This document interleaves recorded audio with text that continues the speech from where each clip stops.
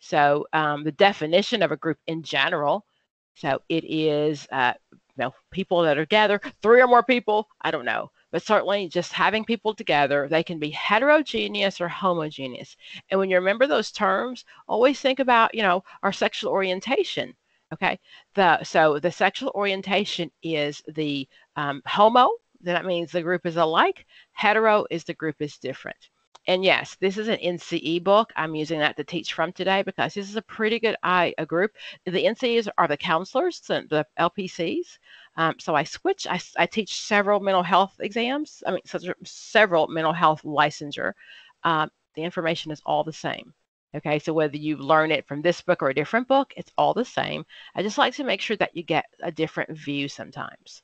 Okay, groups are groups are groups, no matter where you do them. Some of the advantages of group, of course, so people learn in social context. Um, you get to experience social support. Um, sometimes you get peer confrontation, which is okay. Uh, groups, group norms develop, and it's a safe place to practice new skills. So I'm pretty sure most of you had that groups class way back in the day when you were in school. Um, as an instructor, I love my groups class. Um, this is the first time we're teaching it online, so we're doing it in a uh, like a, a, a, Skype platform. So it's a little different, but I, I do think that this is probably the way of the future. Um, a lot of my students have told me during COVID time their NA and their AA groups were actually online. So I do think this is kind of where we're going. So learning to do this on group is just is important as well. Okay. So the groups, the goals of counseling, of course, is to learn to trust yourself and others, self-knowledge, increase self-direction. You learn more effective social skills. So in general, remember a group is a group is the same as your patient. So what is said in group stays in group because that's my patient. Can I guarantee that that'll stay in, in that will stay confidential? No, cannot, right? No guarantees there. I will ask the group. I'll remind them that we agreed to this, but there's no there's no plan that I can make everybody going to do kick you out of group, and especially if it's a court mandated group, that's just not going to happen. Okay. All of your groups are on Zoom, and the social work board approves them. Very cool. Very cool. Um, and Medicaid, I'm pretty sure now also approves those as well. Okay. So just some kind of different type of group. So psychotherapy. So those are usually different than counseling groups. Psychotherapy is going to be a group that actually does therapy. Those are the kind that you're going to see many times in hospitals. You're going to see um, people who have um, um, you know, mental health issues. NAMI, NAMI, the National Association of what does that stand for? NAMI is a worldwide organization, so you might have one in your area. Okay, so NAMI runs groups. Uh, and one of the cool things about NAMI is they actually run a group for people with mental illnesses as well as their support group. And they run it at the same time. So one in, in one room are the people who have the mental health issues, and the other group are the caregivers for people who do. Okay. So there are lots of ways to make sure that we share information. And one of the, um, uh, well, okay. I'm sorry you don't have sound, Rochelle. Um, remind me to send you the video or log back in later. I do apologize. Okay. So psychotherapy, again, you're going to see there are therapeutic, psychoeducational. I'm learning something, right? My psychoeducational group is I am teaching the clients. So not only is it, um, you know, uh, educational, but it's educational from a mental health viewpoint, a social work viewpoint. So I could be teaching parenting skills. I could be teaching um, anger management, social skills, any of those things I could be teaching in that group. Okay, structured groups, sometimes my st structured groups are going to be those task centered. They're short, get your task, get it done. Okay, so those are my uh, learning job skills, um, the DUI class, right? Short, sweet, learn what you need to learn and get it over with. So those are my those are my structured groups. Okay, self-help groups, AA, NA. Remember, the self-help groups are not ran by professional. They are ran by people who run who are members of the group. Okay, my the, a question on the test many times is a client says that they are um, an atheist or agnostic or, or they don't believe in God. Where should you send them? AA does not does not tout God as I know him or Jesus Christ or any of those things. AA says it is God as you see him. So if God is a tree or a house or whatever you want it to be, that is the God. So in that question, um, we're not going to send him away. We're going to remind him that that is what AA does. Okay, it's as you see God. Now, in my area, I live in the good old South. Um, your higher power, you got it. I live in the good old South. So our AA meetings are in our infrastructure and they happen to be churches. Okay, so but that does not mean that they're faith based. Now, Celebrate Recovery really is a faith-based group. Um, they started. They were started with um, uh, Rick. What's his name? Did the at Outback um, Saddleback Church? That Rick. Okay. So those are my Celebrate Recovery groups. They are based on Scripture. Okay, and they are they are groups that are um, Outback. I'm sorry. They are Celebrate Recovery. Thank you, Rick Warren. Thank you. So those are really based on um, uh, scripture. They're based on scripture. In order to do a celebrate recovery, a church has to go all the way out and they have to be trained and to, and to work through. Um, celebrate recovery also talks about hurts, hangups, and habits, not just about your addictions of alcohol and drugs. Okay? So we're talking about those, those self support groups. Those are always going to be um, mutual help. That's what that means, or self help groups. Okay? Um, T groups or training groups and task groups. I bet everybody in this group has been assigned a task group. You tell your boss, your principal, your somebody, you know, I think we should do this. And they say, well, go ahead. Why don't you start a committee? Okay, that's a task group. You've been appointed to be on this task group, right? So if you get that question and you're on a task group or any other kind of group, the first thing you're going to do is find out the meaning of the group. Like, what are we doing here? What's our goal? So, our first question, remember, is always, always try to gather as much information as I can. The process of group, the healing happens in the dynamics. The content is what I bring, the content is what we're studying, but the healing happens in the actual dynamics of the group.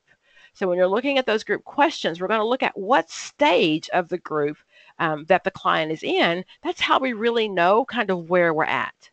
Okay, so dynamics, again, those are the forces interplay between the group members. Okay, group cohesion, that is when the, when the group is cohesive and that's when they share. That's when they trust someone. That's when they trust someone to say, oh, by the way, I did this, I did that. The group of goal is to make best friends with somebody and be best friends forever, right? No, if you see that question on the test, that is not the group. That is not the role of group. Okay, it's not to hook you up. It's not for you to be friends. It is not. It is to help you work through whatever issues you're going through. And the assumption is like everything else, once the group terminates, you'll be done. Okay. Again, cohesiveness and cohesiveness happens at very different state uh, at different rates. Some groups get cohesive very quickly. My more heterogeneous the groups that are more different, sometimes that takes a little bit longer for us to get cohesive. Okay? You'll see some of these sometimes, the role of group members in the group. Okay, so roles aren't assigned. They are roles that people assume during that group process. Okay, so then faci uh, facilitative or building role, that's the person who, um, many, which may help people, group members feel a part of the group. So sometimes when you've gone to a new group, someone's going to be there to, to welcome you. Come on in. We're so glad you're here. That's the role someone plays. The maintenance role, the biggest one you'll see many times is the blocker. The blocker is the one who is happy where group is at and they don't want to change. So many times they're the person who's not quite re- ready to share yet. And they're like, oh, nope, nope, nope, nope, not sharing.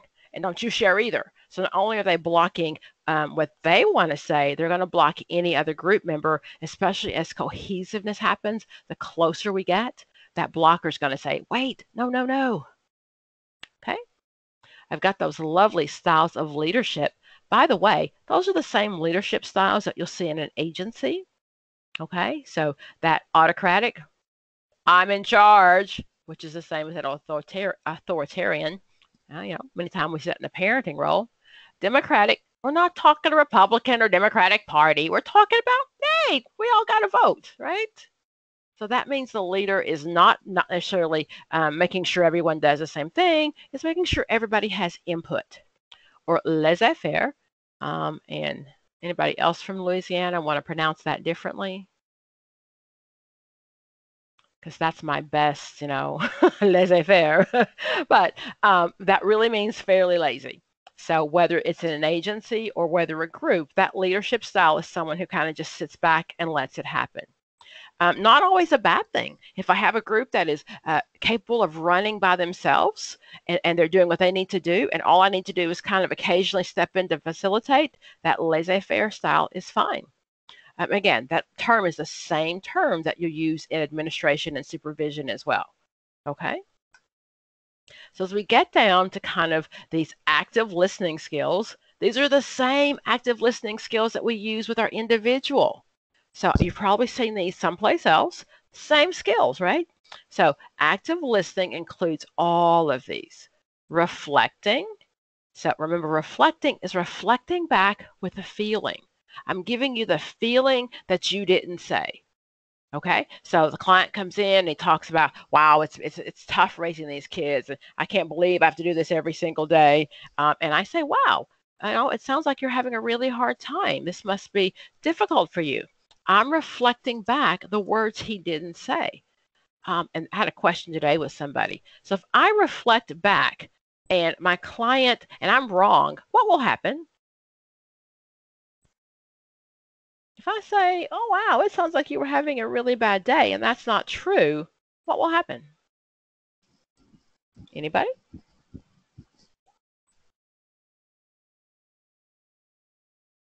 Ah, no, I won't necessarily lose trust, but he'll tell me. He'll say, uh, no. If I'm way off base, he'll say no. If I'm on base, then that's going to open up the door for that improved communication, right?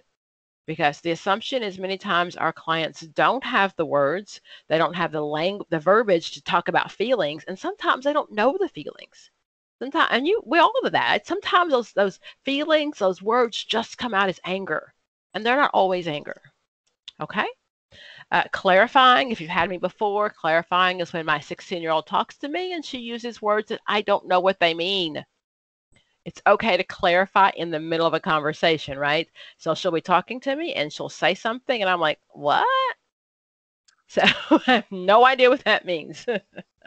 I'll remind you if you don't have a 16 year old, you can always use the Urban Dictionary. It changes often. Oh. Mute yourself, Kelly. Just mute yourself. There we go. Everybody use the Urban Dictionary? There's some things in here that you probably don't even want to know.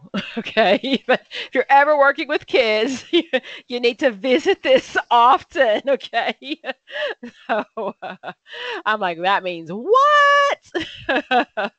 okay. So honestly, if you're working with middle, high, even elementary school kids, and they use terminology that you don't know, and it changes daily. My 23 year old now, she'll tell my 16 year old, she's like, what? What does that mean? Macaroni in a pot. Should I Google that or do I want to know? Should I put that in? Will it scare me? okay, let's see here. I, I probably don't want to know.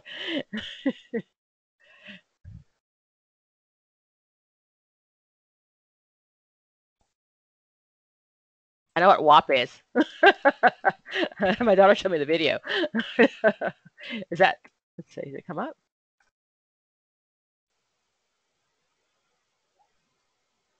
Cardi B, yes. So what's macaroni in a pot? It didn't come in my Urban Dictionary. Should I Google it regular? I'm afraid. I'm so afraid. Ah, it's a song. Okay, I'll have to ask my kid. okay, so thank you. but anyway, I strongly recommend um, to keep up with the times, and especially if you're working with teenagers, we all know that we need to speak the lingo, right? But if not, I clarify. I'll just say, I'm sorry. What does that mean? Explain to me. Um, I'll say, I'm old. What does that mean? Okay. So summarizing is at the end, right? At the end of the conversation, at the end of anything, I'm going to summarize. Okay. Summarize, also think of summative. That's the end of a program, right? We're doing program evaluation. My summative is the evaluation at the end of the program.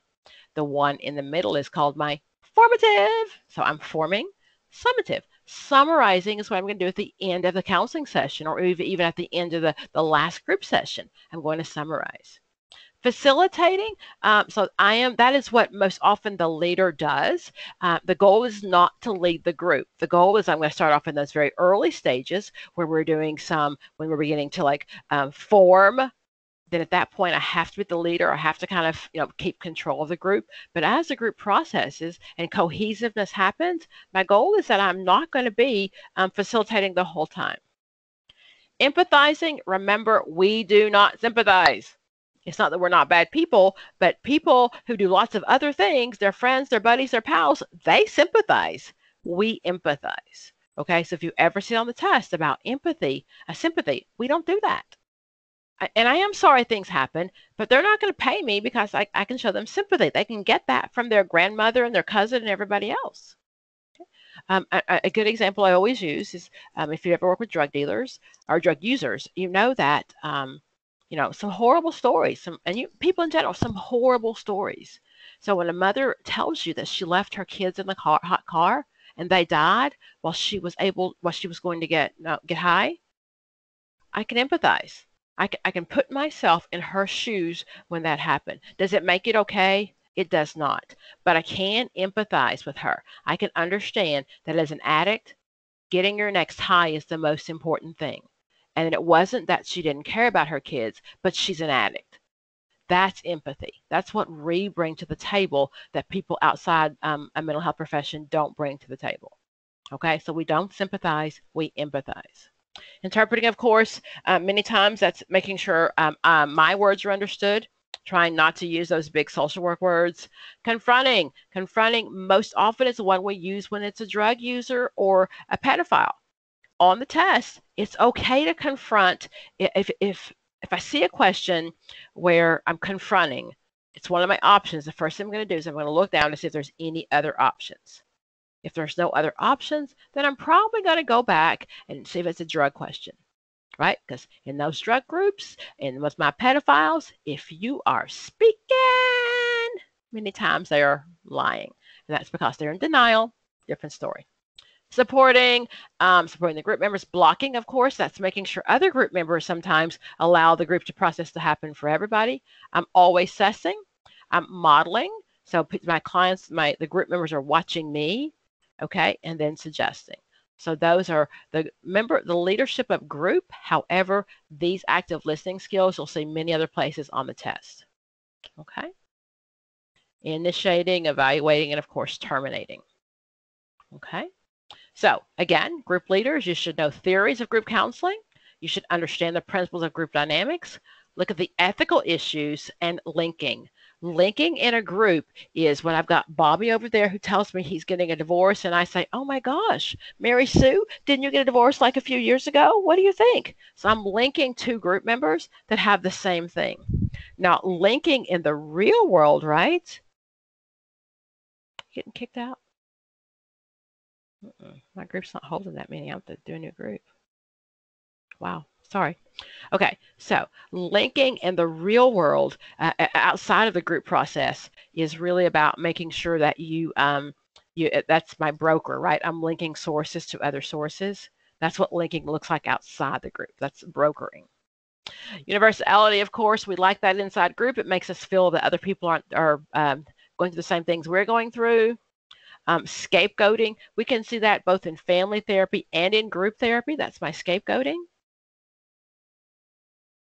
Co-leaders, if you choose to have a co-leader, if the question is about co-leaders, we have to be on the same orientation, right? If I'm coming from a, a, a psychodynamic viewpoint and someone, this person behind, beside me is coming from a behavior viewpoint, that's not going to work.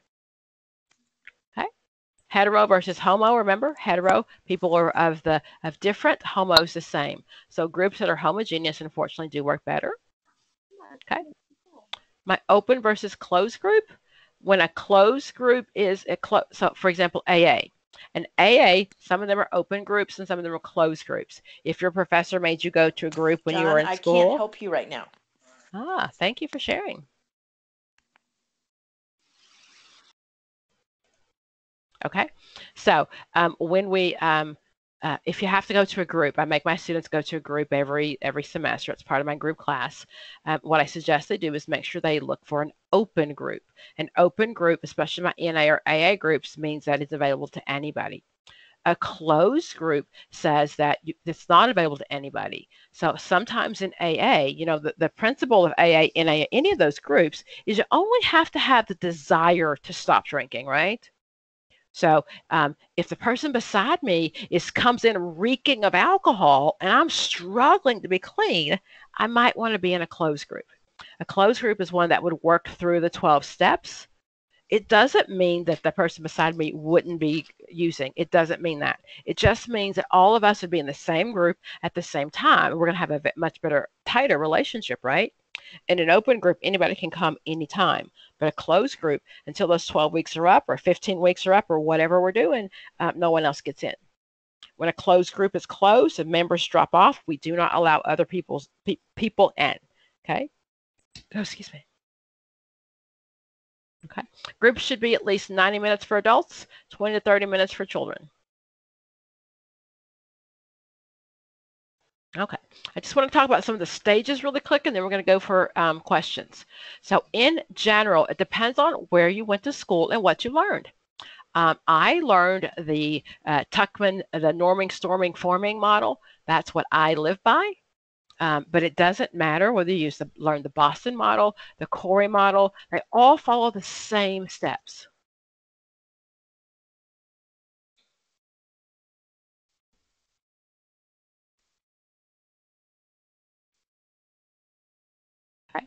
And I really only suggest that you learn one because if you learn one, you can figure out the rest of them.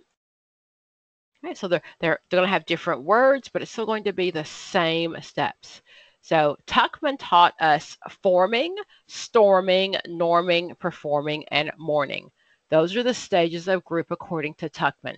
Those are the ones that I, I was taught back in social work school five million years ago. And those are the ones that I teach now. What I do find though is some of my um, my schools, uh, y'all, y'all up there in the north, teach the Boston model, um, which is Yalom, and we'll go over that in just a minute. But it really doesn't matter. The words are still the same. So forming, the group is getting together. Storming, whenever the group gets together, I call it jockeying for positions. People are like, I want to sit there. You always make the coffee. Oh my gosh, she never comes in. Ah, so that happens a couple of weeks. People are really, really just fighting. If you see a question that says, you know, they're challenging the group leader, they are um, um, fighting with each other. Uh, a young uh, social worker calls and says, I don't know what to do because my group keeps fighting. They're in the storming stage. And according to Tuckman, you have to have that stage to get through that. So once you storm, then you norm. Again, the group sets the norms they perform. That's when the, the, the dynamics, that's when the healing, the cohesion is happening, and then group ends. Okay? So um, in the forming stages and the storming stages, that is when the social worker is working really, really hard. Okay, she's trying to set the get the people to sit down and people show up on time and people to not be rude to each other.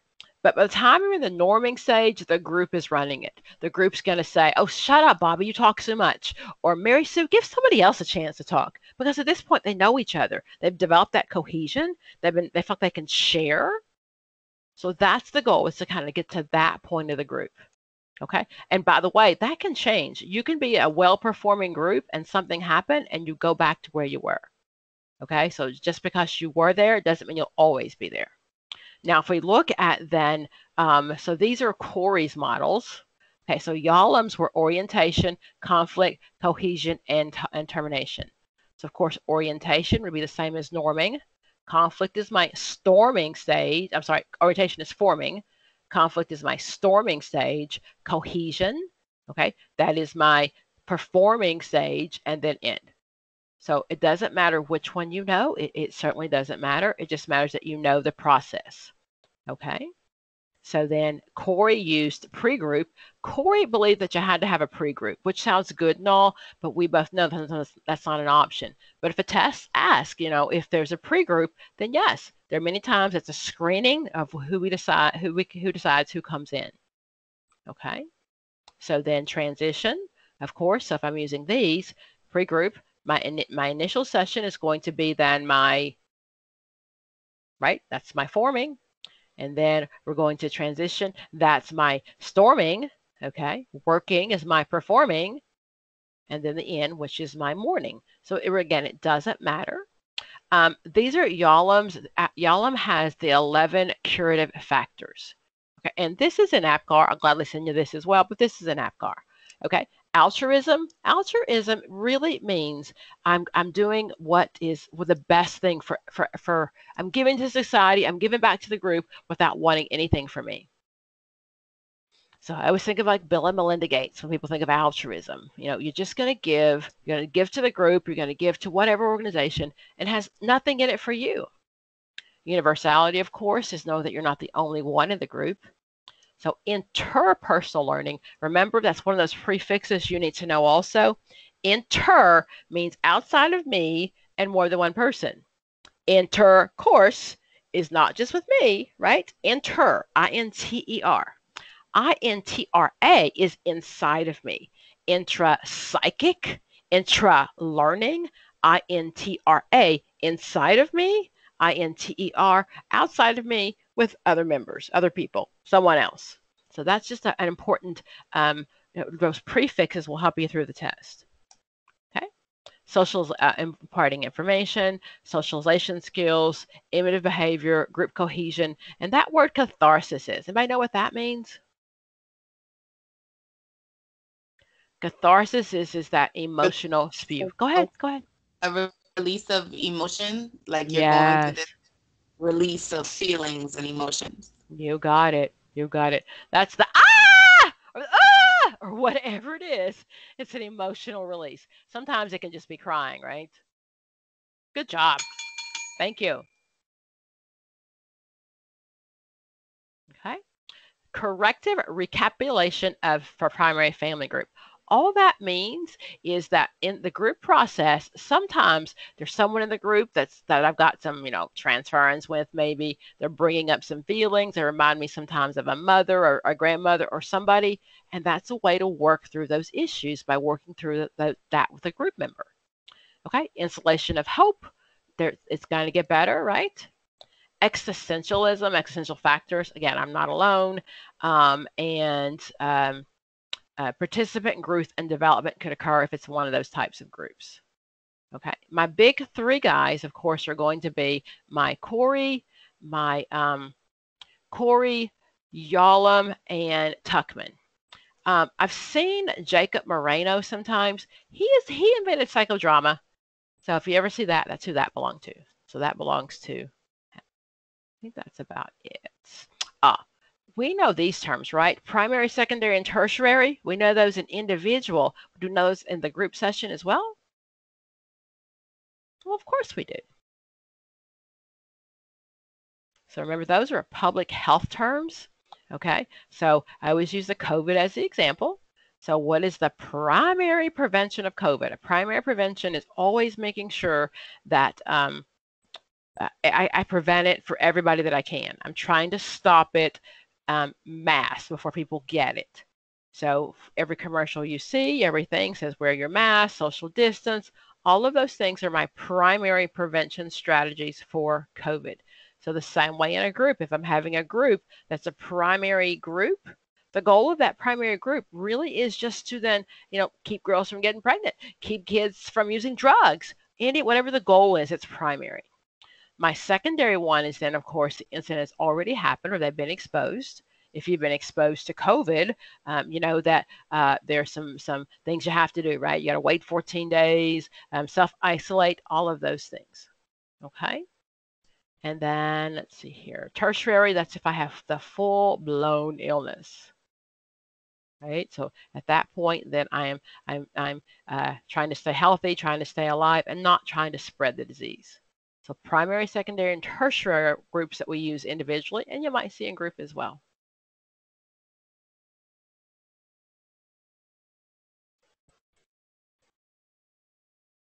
Okay. I think that's it on those. Yeah. Okay, so I'm going to throw in some group questions over here. Um, any questions, guys? Any questions? We're going to put that information to questions.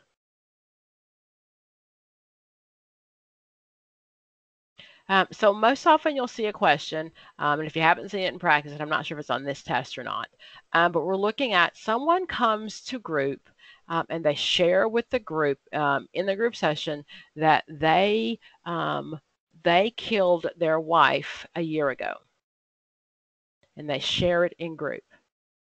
What is the first thing you would do? Run out and call 911, stop the group process, right? Anybody? What are you going to do?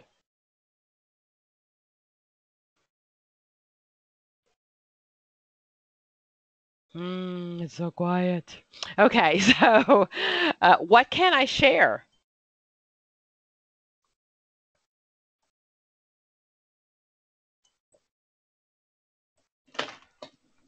Of course, what I can share is if anyone is in imminent danger of hurting themselves or someone else.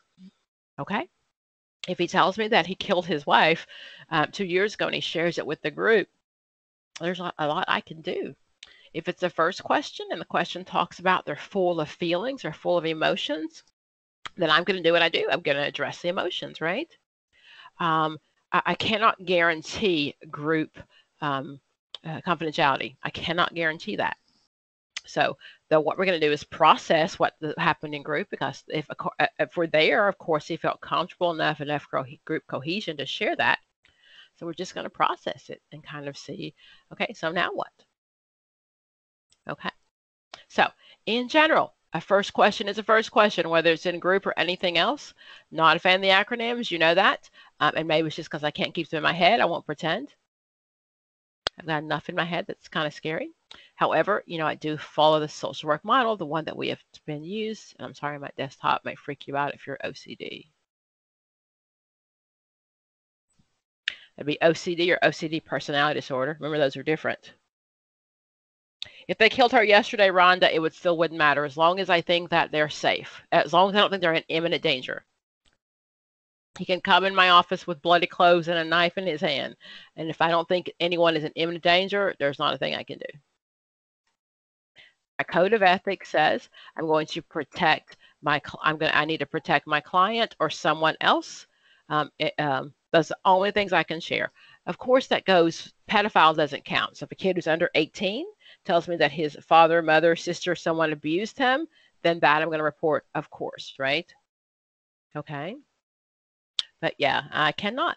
And if it goes to court, I'm still going to follow my same code of ethics and say up and down, Your Honor, I don't want to share this information. This is privileged information. When my client told me this, he had no reason to think that I was going to share this.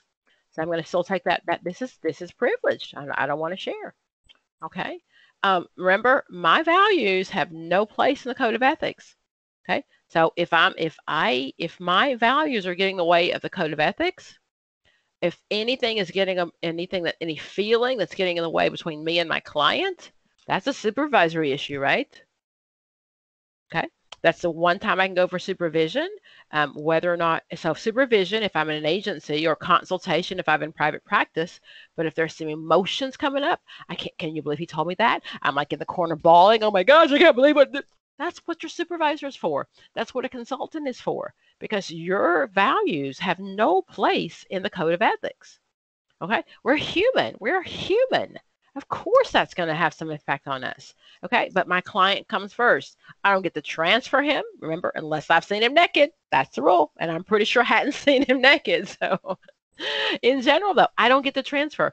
I am the very best social worker ever and, and I don't say that, uh, I say it for the test, but I also say it in general. The people that I work with, I, I work with the best and the brightest.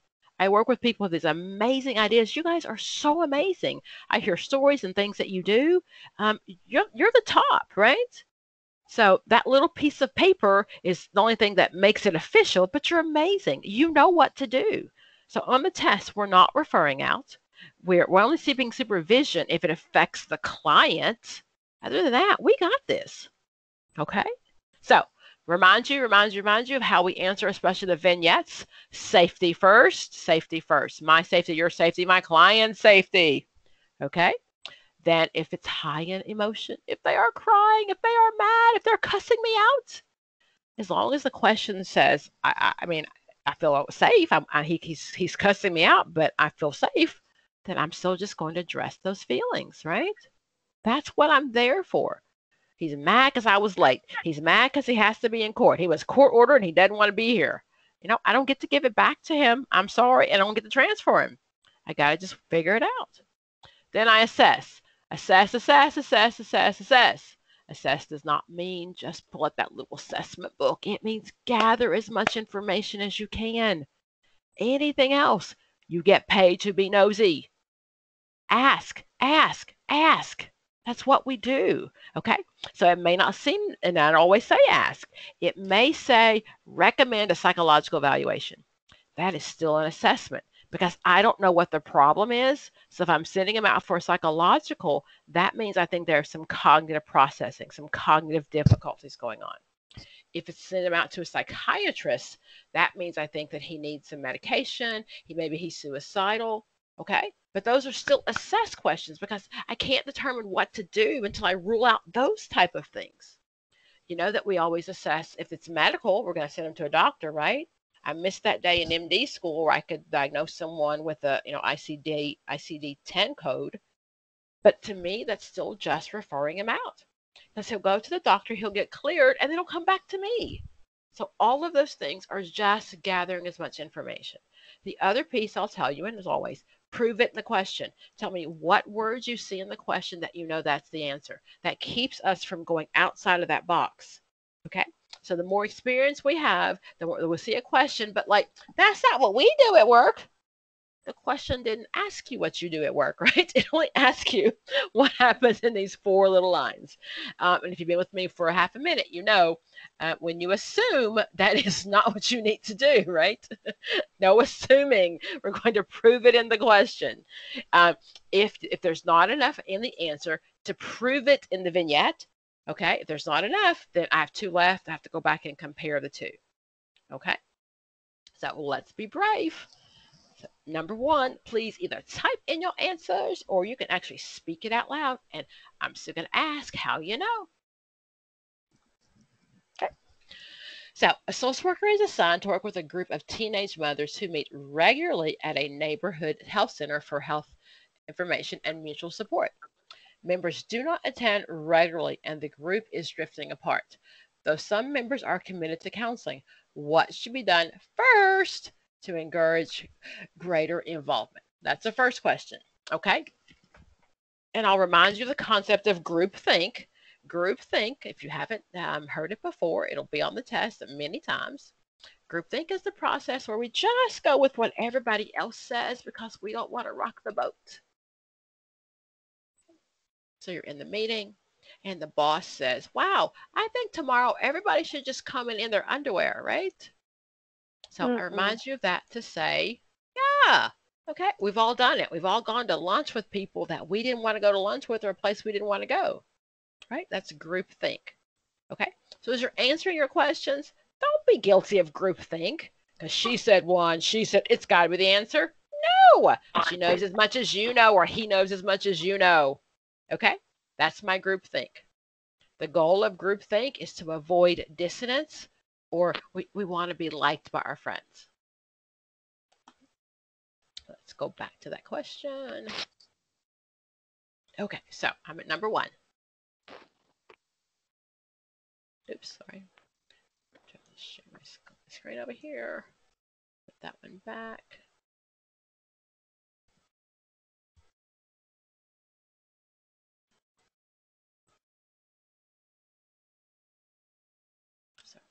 All my screens closed. Okay, number one.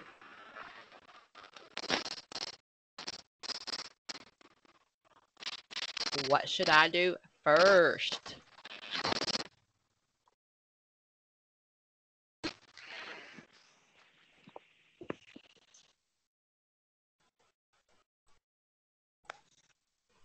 I got three ones.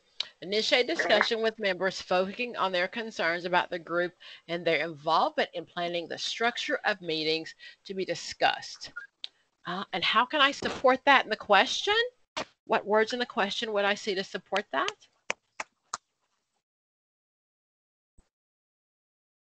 Well, I know it's the first question, right? So my first question says, ding, ding, ding, gather more information. Because some of them are committed. Ah, let's see here. So then, initiate a discussion with members focusing on their concerns about the group and involve them in planning the structure of meetings and topics to be discussed. Okay, so then, the, a social worker is assigned to work with a group of teenage mothers who meet regularly at a neighborhood health center for information and mutual support. Members do not attend regularly and the group is drifting apart, although some members are coming. Okay, so then that's my key right there. And someone said it already. So some members are coming and some aren't coming. I want to know why they're not coming, right? Hey, what's wrong with me that you don't want to come back to my group?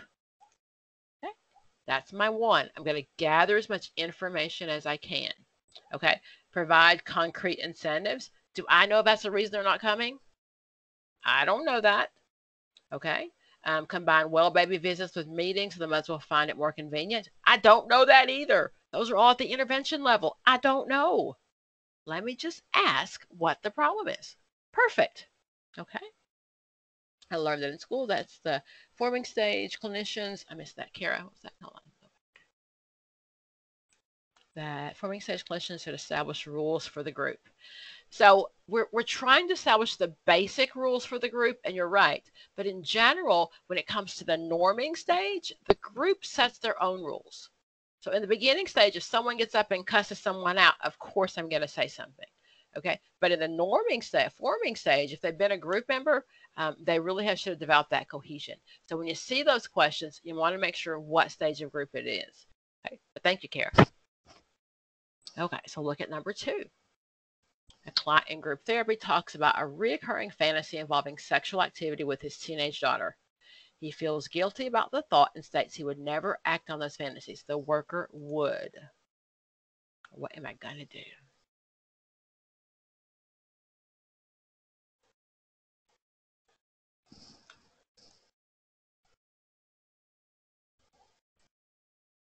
I got a one. I'm sorry. Did I, did I see somewhere in there where he had did I miss those words that he said he had abused his child? Because I don't recall seeing anything up there. And I remember, I got to believe the question. Okay. I, I don't get to second guess the question. If that's what it says, I want to stick with the question. Okay.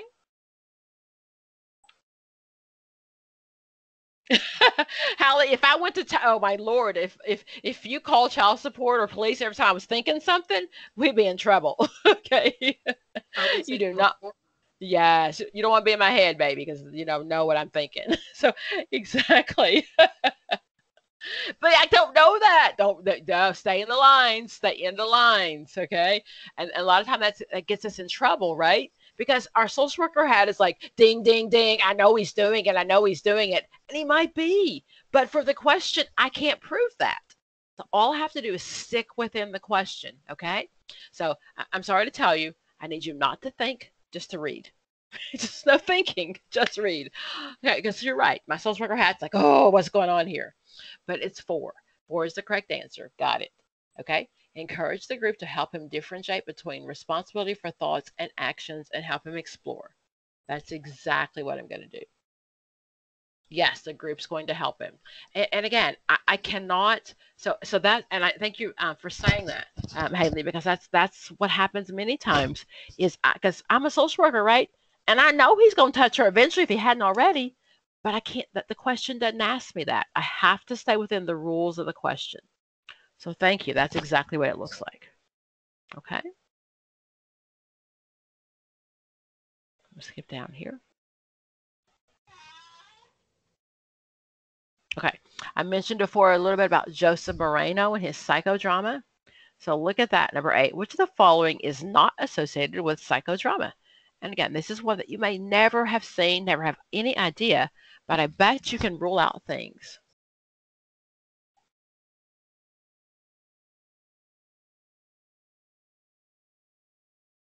So psychodrama means you're getting up there and you're kind of acting out your life. And if you remember um, high school lit or college lit, you're, you're, you've got the protagonist and the agonist, and you're kind of what he'll ask you to do is get up here in front and role play your life. Oh, look at you, Craig. Yes. Formal scripts. Go ahead. Somebody said something? Oh, I was going to say it's three. You got it. It's my formal scripts because the goal of role playing is to get up there and act it out. So I'm not trying to script it. I'm just trying to let ha- what happens happens, right? Good, good, good. Go back to this one. We see this one a lot. Number seven, in a group member diagnosed in a group in, in a group with members diagnosed with repressed schizophrenics as regressed schizophrenics, a social worker would primarily focus on the development of what? They are regressed schizophrenics. Okay, so what would she work on? Number one. Yeah, some structure. Um, so the problem with schizophrenia is that they're a little confused. They're a lot confused. They're not sure if the voices are coming from the people beside them or inside of their head, right? My hallucinations are my, I've got all five of my senses can experience hallucinations, right? So I can get some things crawling on me, some auditory. I can taste if someone poisoned my food. All of those things are, are um, symptoms. So we have positive and negative symptoms as well. So the positive things are things that I should not have, and the negative things are things that I should have. Okay, so the positive symptoms and negative symptoms are schizophrenia.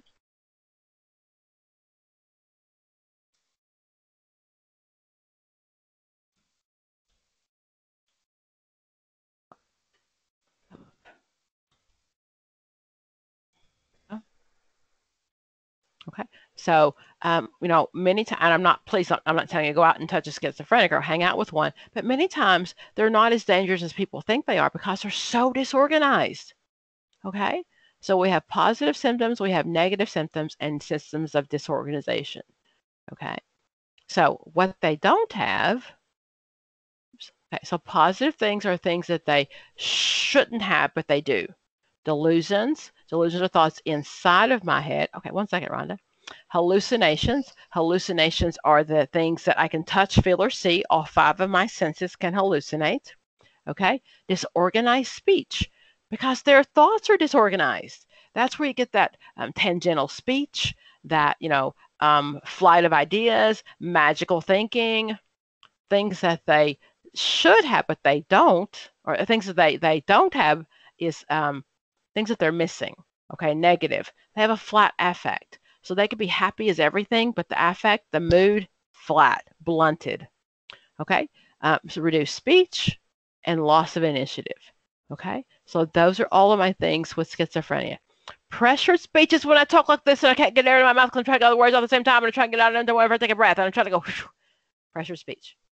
Okay, so it's like my mind is jumbling. it's just my mind is jumbling, and I'm trying to get all of those thoughts out. Okay, so um, it's not rambling; it's the pressure.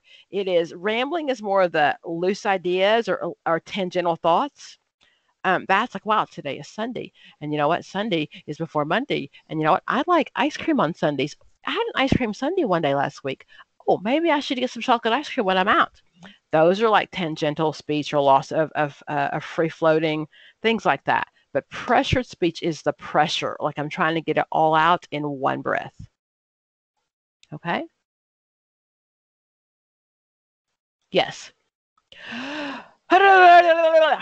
Sometimes at my 16 year old, she's like, My mom, I can't tell you. And she'll like spew this like word salad out. And like, whoa, wait a minute, back up. So yes, it's pressure. It's pressure to get it all out. Okay. And many times that's, yeah, that's a sign of schizophrenia. Okay. Let me go back then. Let's see here. Look at six. A multi-service agency starts a program for drug addicted clients. The most likely a treatment approach would be. So I'm looking at drug addicted clients.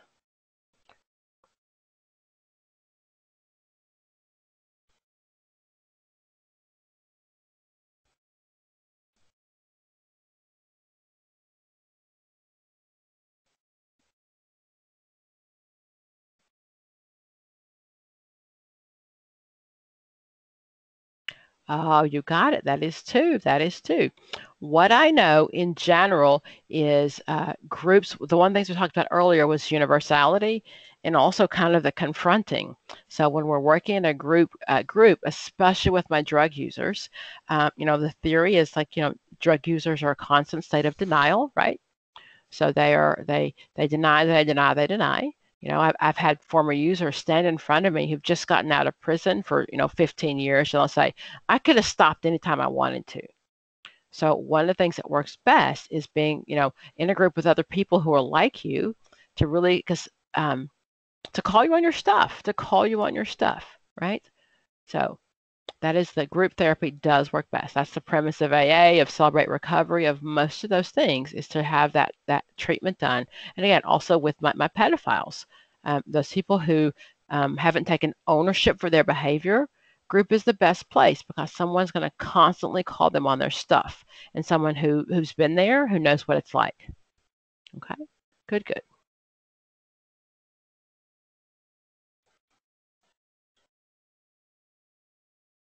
How about 11?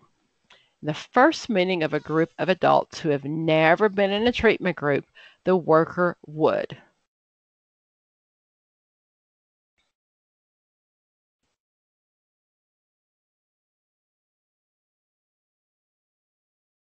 It's their first time, first meeting, and they've never been in a group.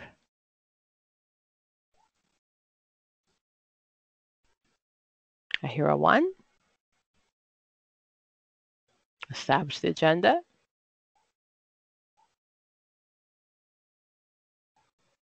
A four, establish the agenda. I hear a one. What if I told you the answer is two?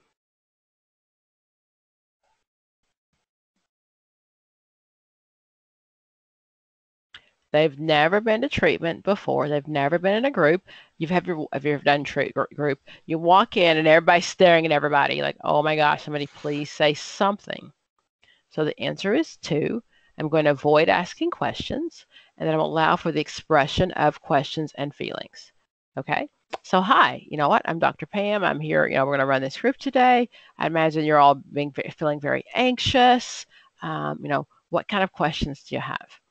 And that's even more important if you're doing a mandated group because they do not want to be there, do they? Okay, and it doesn't say it's a mandated, so I can't assume something. But the goal is that I'm going to restate the general principle of the group, but I really don't want to ask them any direct questions yet because it's week one and they don't trust the group yet. Um, allow them to engage with each other as this is the forming process. They're probably not going to do that either. Okay, it's it's the forming process. They're probably all looking at me, waiting to see what happens. Okay, so you know I want to open the floor. I want to ask them if they want to ask questions. Okay, but they're probably just going to sit there. Um, I, I, I teach college, and I really kind of think about the first group as the first day of class. Okay, so remember your first day of class, and you didn't know anybody, and you're walking in, and you sit down, uh, and, and think of like the first day of class your freshman year, right? So you're sitting down and you're like, oh my gosh, these people look so smart. They must have everything I don't have. And um, like all those things you're worried about, right? Okay. So then what I'm going to do, usually on the first day of class as a teacher, I just kind of do some warm up activities. You know, because m- many of my students, and I know you overachievers, oh my God, you've got your assignment done the first day. I get the day before class, what's the syllabus? And can I do this? And can I do that? But not everybody's the same place. So the first day of class, I just want to make you feel comfortable. That's it. That's it. Okay? So all I'm going to do is chill. Let them enjoy the process. We'll get there.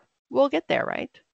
Now, if this were a task oriented group, I'd come in and tell them exactly what the task is, right? A task oriented group is many times leader led, short and sweet. We're getting out of here and getting it done.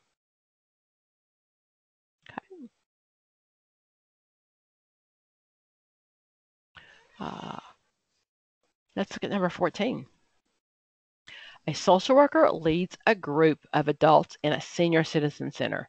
During a group meeting, one client says she's going to kill herself and her husband. The threat appears to reflect real intent rather than being an idea, an idea, ideation. The social worker would. What am I going to do? I got, I got a three. What else?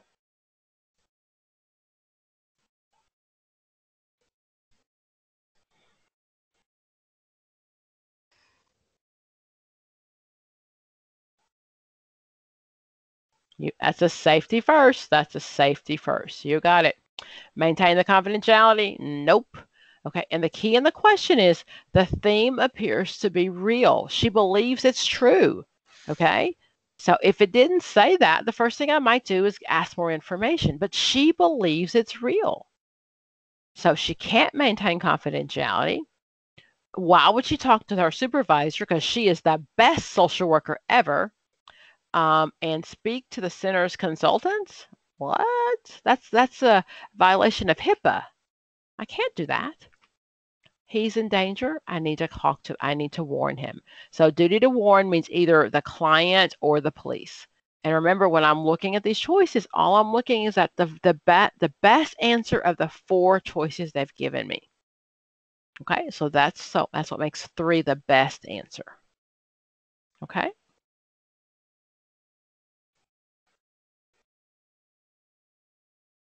15. All of the following are examples of therapeutic or therapy groups except. I hate those not questions. I hate those except questions. So I try to figure out, well, three of these are right and one is not. So which one of these is not?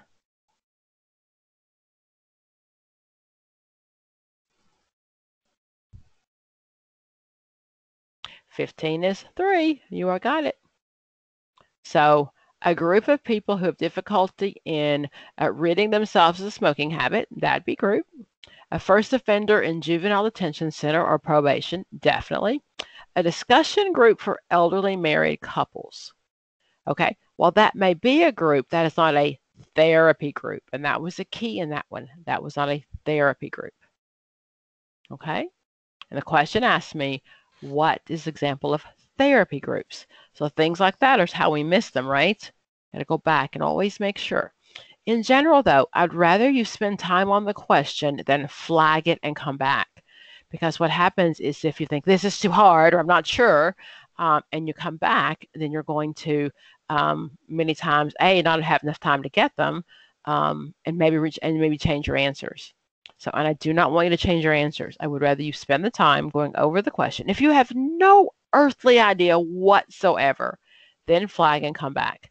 But if you think you're right and you can prove it in the question, then go for it and don't come back and change it. You're you're good at what you do. You know this stuff. Don't let the test get the better of you. Okay?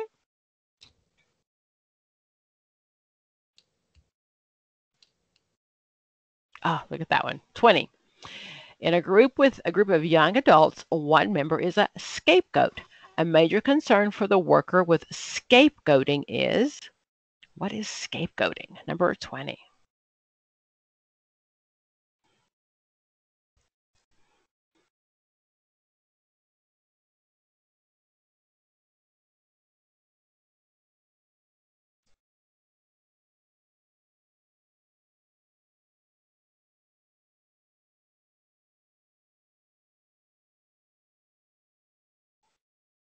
Oh, got some brave people.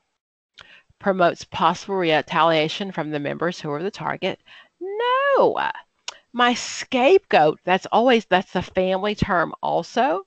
It's one.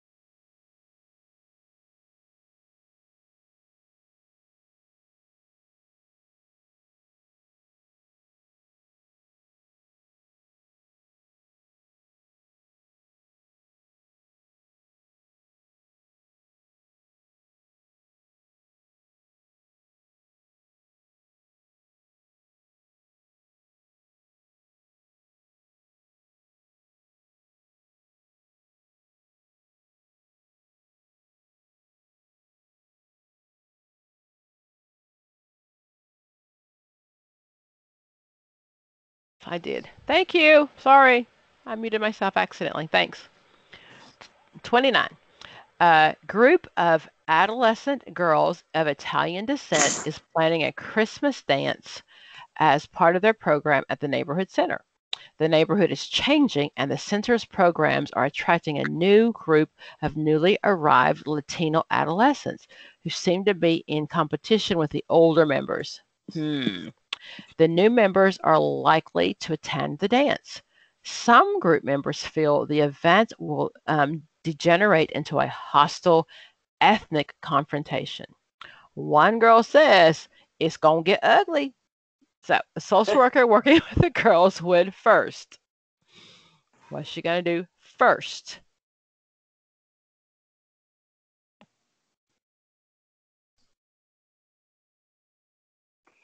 It's about to get ugly up in here. What's she to do? I got a two. I can tell you that number one will never, ever, ever be the right answer. We always have to do something. They would not put it on the test if I'm supposed to do nothing, right? Not, a, not an option. So one is out.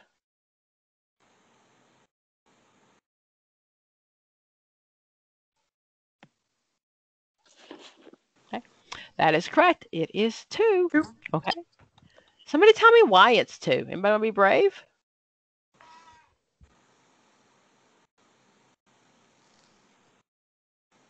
Exactly. Somebody, why? I'll take a stab at it. Thanks. Then go ahead. Um, I think that it's two because um the first thing is the social worker is taking the concerns of what the client um quoted when it says it will get ugly. So she's taking Mhm. it seriously because she doesn't know Mhm. what that means. And because it's a group setting, the idea is to help the group help things go back into the group. So maybe help the group assess the issues within so that they can develop it amongst themselves while the social worker is overseeing it. You got it. And it's so a first question. Good answer. Good. You get the bell. Yes. Okay. So the uh, first question is like assess, right? And working with the girls, what should I do first? This is a safety concern, right? So my first is safety because it's gonna get ugly up in her, right? So I need to find out what does that mean? What does that mean? So exactly, I'm going to treat their concern seriously. I want to gather more information. That's a full discussion. Help the group assess the issues and develop strategy. It's a group. It's a group. So let's kind of talk about it and process it as a group. Now, one of the assumptions is if they're able to process it, what stage of group might they be in? Emergence. Oh, that's a that's a uh, um Oh wait, wrong uh, one. yes, Um, that's a community term, but you're right. oh, You're right. what so is it? Forming, storming, Norming, norm, uh-huh. so they're they're probably perfor- performing. They're probably a fully working group, right? I think they're past forming. I think that they're probably if she's going to have a discussion with them, and this is again, I think she may be past forming, right? It doesn't say how long it's been going on, does it? Uh, the new members, so they might be forming because so what I bet. Let's try this. They're probably in the uh, they were in the performing stage. Then new people came in, and you, the group can regress, can it not? So now they have to go back because new members have come in. So yeah, yeah. Okay, so you did mention those stages. Those are my group, uh, my community organization stages. So you're absolutely right that. So if it's a group, the first thing we're going to do is we're going to orientate, and then we're going to, you know, there's going to be some storming. Then they're going to emerge, means come together with a group idea, and then they're going to then reinforce. So yes, right on those group stages. I'm sorry, those community action stages. Okay. Last one, guys. Look at number 30. The importance of the code of ethics is